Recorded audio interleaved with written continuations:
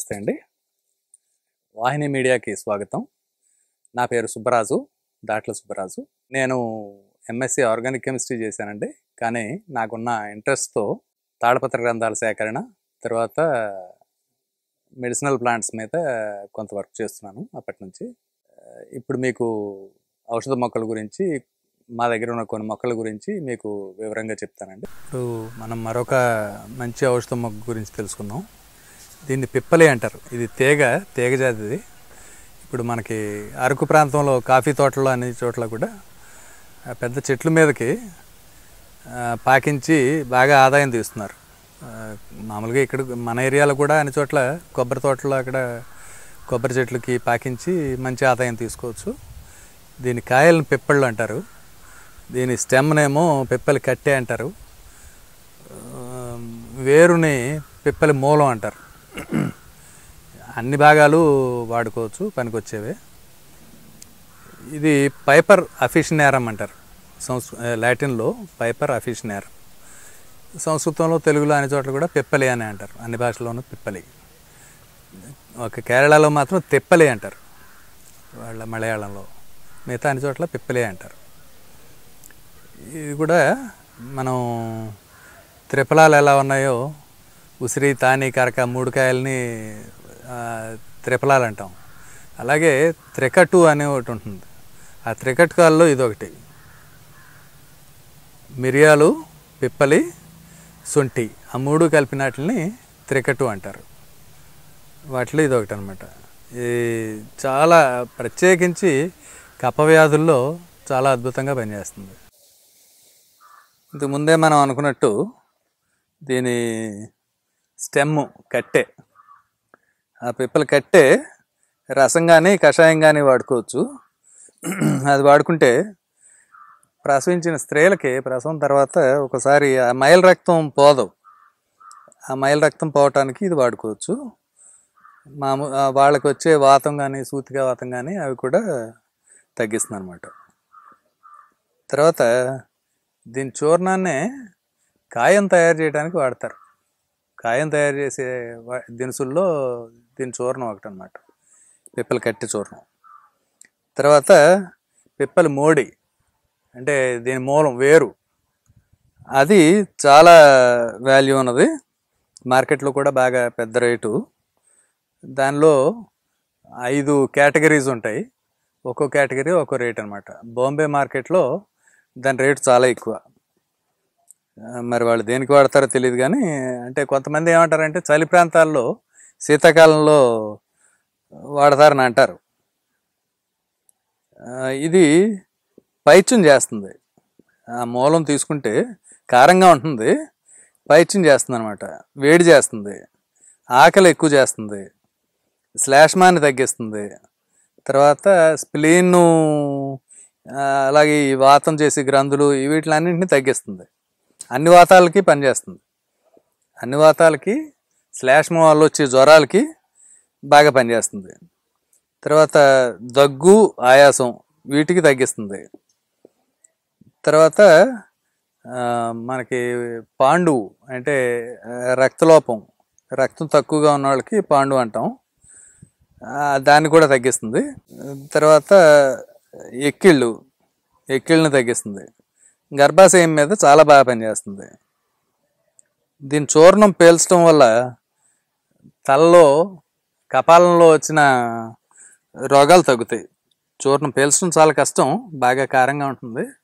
అలాగే చేస్తే కనుక తలలో వచ్చిన రోగాలు తగ్గుతాయి. తర్వాత దీని కషాయాన్ని పుక్కిలించడం వల్ల కానీ లేకపోతే ఈ పొడితోటి ఎండబెట్టి చూర్ణం చేసిన ఆ చూర్ణంతో పళ్ళు తోముకోవటం కానీ చేస్తే పళ్ళ జబ్బులు చిగుళ్ళు వాపులు జలుబు తగ్గుతాయి. అలాగే పొట్టలోని వాతం బయటికి వెళ్ళిపోతుంది. శరీర తత్వం ఒక్కోసారి ఒక సీజన్ వల్ల కానీ మనం తీసుకున్న ఆహారం వల్ల కానీ తత్వం మారుతూ ఉంటుంది. జనరల్గా వాతావరణం వల్ల మనం ఉండే ప్రాంతాన్ని ప్లేస్ మారినప్పుడు శరీర తత్వం మారుతూ ఉంటుంది. అటువంటప్పుడు ఇది తీసుకుంటే మళ్ళీ శరీర తత్వాన్ని మంచిగా మారుస్తుంది అనమాట చెడిపోయిన దాన్ని మళ్ళీ మంచిగా మారుస్తుంది. కొద్దిగా విరేచన చేస్తుంది.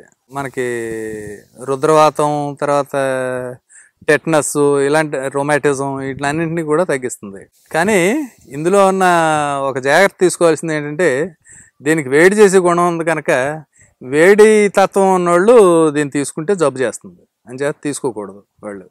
తర్వాత కాయలు ఉంటాయి వాటిని పిప్పళ్ళు అంటాం. అవి కూడా కారంగా ఉంటాయి.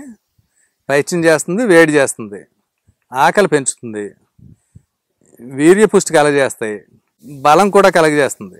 శ్లేష్మం వాతం జ్వరం తర్వాత పాము విషం వీటన్నింటినీ తగ్గిస్తుంది. దగ్గు ఆయాసం ఎక్కేళ్ళు క్షయని తగ్గిస్తుంది. అలాగే అన్ని రకాల వాతాలని తగ్గిస్తుంది. కానీ వీటిని కొద్దిగా వెచ్చబెట్టి వేడి చేస్తే శుద్ధి అవుతాయి అన్నమాట ఈ శుద్ధి చేసుకోవాలి. శుద్ధి అన్న ప్రక్రియ ఆయుర్వేదంలో చాలా ఇంపార్టెంట్ ఎందుకంటే చాలా వాటిల్లో మనకు అవసరం లేని టాక్సిన్స్ మన బాడీకి అవసరం లేని టాక్సిన్స్ కొన్ని ఉంటాయి. ఆ టాక్సిన్స్ని మనం ఎలిమినేట్ చేయటం అన్న ప్రక్రియే శుద్ధి అంటాం అనమాట ఇప్పుడు మనం మరొక ముఖ్యమైన ఔషధ మొక్క గురించి తెలుసుకుందాం. సరస్వతి. ఇది మామూలుగా మన ఏరియాలో దొరికే సరస్వతి ఆకంఠం ఇది హిమాలయ ప్రాంతంలో కేరళలో కొన్ని ప్రాంతాల్లో బాగా అంటే వర్షపాతం బాగా ఎక్కువగా ఉన్న దగ్గర దొరికే మొక్క అనమాట ఈ రెండు కూడా ఒకేలా పనిచేస్తాయి. వీటితో పాటు వేరే ఇంకొకటి కూడా ఉంది సంబరేణు అని. అది కూడా ఇలాగే పనిచేస్తుంది. ఎక్కువ బకోపా మొనేరా అంటారు దాన్ని. ఇదేమో సెంటెల్లా ఏషియాటికా. అన్నీ కూడా దీన్ని వీ- ఈ రెండింటినేమో బ్రాహ్మి అంటారు సంస్కృతంలో. ఆ సంబరేణువుని జలబ్రాహ్మి అంటారు. మూడు ఒకేలా పనిచేస్తాయి. ఏదైనా వాడుకోవచ్చు. వీటి మెయిన్ లక్షణం ఏంటంటే నరాలకి సత్తువనిస్తుంది బ్రెయిన్ మీద బాగా పనిచేస్తాయి. బ్రెయిన్ని కామప్ చేస్తుంది అనమాట ఈ ఔషధం తీసుకుంటే బ్రెయిన్ కామప్ అవుతుంది. రెండోది ఏంటంటే బుద్ధి బలాన్ని పెంచుతుంది. తర్వాత అంటే జ్ఞాపక శక్తి పెరుగుతుంది. ఆలోచించే శక్తిని పెరుగుతుంది. తర్వాత ఈ నరాల వ్యాధులన్నిటికీ నరాల వ్యాధులు ఏదైనా సరే మాటలు రాకపోవటం కానీ అవి కూడా బ్రెయిన్ నెర్వ్స్ పనిచేయకపోవటం వల్లే వస్తుంది. ఇలాంటివన్నీ దీంతో ట్రీట్ చేయొచ్చు. సరస్వతి ఆకుల గురించి చెప్పుకున్నాం. ఒకటి మన ప్రాంతంలో దొరికింది ఇంకొకటి హిమాలయ ప్రాంతంలో దొరికింది అని. ఇది ఆ, రెండింటిని బ్రాహ్మి అంటారు.